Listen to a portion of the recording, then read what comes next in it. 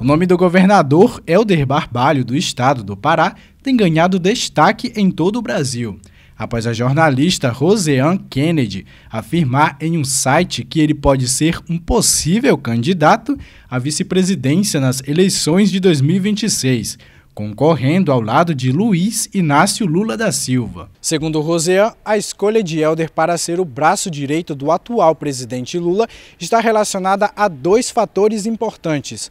O primeiro é a escolha de Belém como sede da COP30, evento que ocorrerá em 2025 e que o vice-presidente Geraldo Alckmin do PSB planeja disputar o governo de São Paulo. Elder tem se destacado internacionalmente em questões ambientais e de bioeconomia.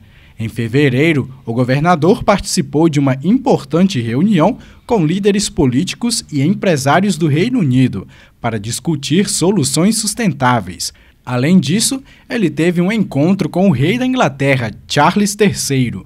Sua atuação coloca o Pará como um protagonista nas questões ambientais da Amazônia. Nas redes sociais, a possível candidatura gerou intensos debates, enquanto alguns internautas demonstraram preocupação com a hipótese, afirmando, aspas, é para acabar com o Brasil de vez.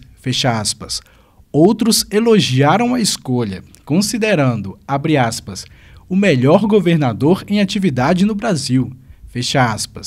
Agora fica aberta a questão. O que você acha da possível dupla presidencial?